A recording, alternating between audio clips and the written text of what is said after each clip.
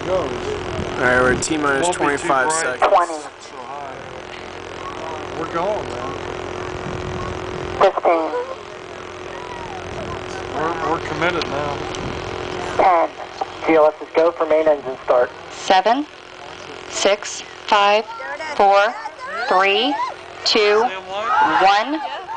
Booster ignition and liftoff of Space Shuttle Endeavour, preparing our home in space for a larger international family. Look at that, man.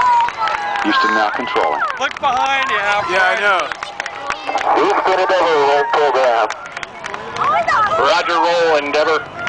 Commander Chris Ferguson confirming Endeavor is rolling on course for a rendezvous with the International Space Station. Oh my god. Six and a half miles from Kennedy Space Center.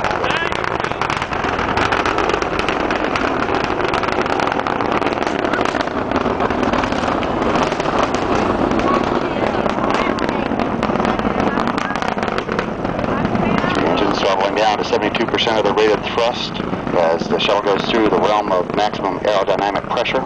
Altitude 5 miles, downrange 8 miles from Kennedy Space Center. Speed 1,500 miles an hour. Endeavor, go at throttle up. Shockwaves. Yeah. Systems remain go. That's Wow. there. Look at oh, that. The shockwaves. Yes, I saw that. That's very good. No, who's ever seen that before? I've seen it once. Speed 2,000 miles an hour. Altitude 10 miles. Downrange distance 12 miles from Kennedy Space Center. It's one and a half minutes since launch. Endeavour has consumed more than two and a quarter million pounds of propellant and weighs less than half of what it did at launch. Is that gross? Is that Standing by for burnout of the twin solid rocket boosters and jettison.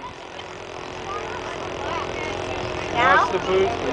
Just sit. Sit plane. Ya.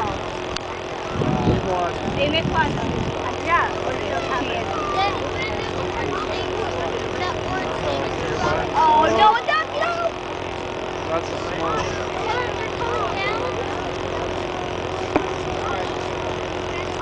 It'll blow, it's fine. Just do that. Booster officer confirms a clean separation of the two solid rockets. Endeavour's three main engines continuing the second stage, accelerating with 37 million horsepower. 37 million. Blow your air.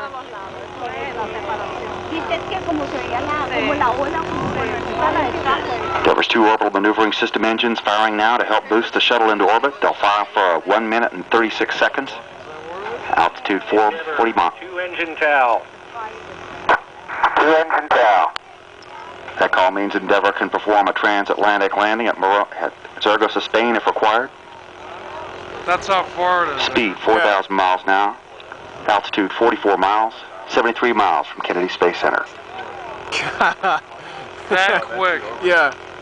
It's insane. Oye, hay una lucecita roja poniendo la So now if it had problems, it would land in Zaragoza, Spain.